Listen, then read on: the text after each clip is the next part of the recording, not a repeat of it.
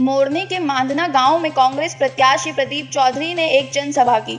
उन्होंने कहा कि भाजपा पार्टी गुमराह कर पाँच साल से जनता के साथ धोखा कर रही है। भाजपा के लोग झूठे वादे कर सत्ता में आए और विकास के दावे कर कोई विकास कार्य नहीं किया।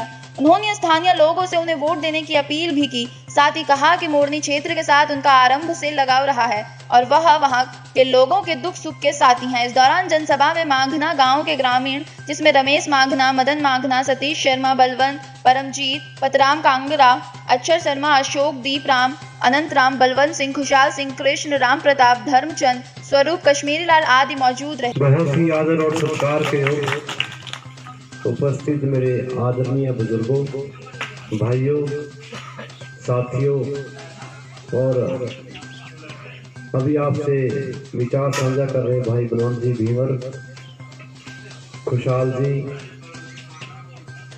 भाई मास्टर जी, सर्वेश मंदना जी, सुरेश जी, बंतराम जी ने विचार साझे किए, दीनानाथ जी।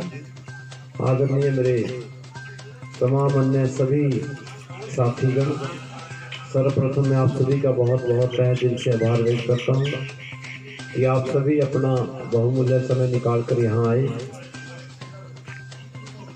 कांग्रेस पार्टी ने मुझे कालका विधानसभा क्षेत्र से प्रत्याशी बनाकर आपके बीच भेजा है। 21 अक्टूबर को जो हरियाणा विधानसभा में चुनाव होने जा रहे हैं उस सिलसिले में आज मैं आप भाइयों बुज़ुर्गों का आशीर्वाद सहयोग पत्र मांगने के लिए आपके बीच आया।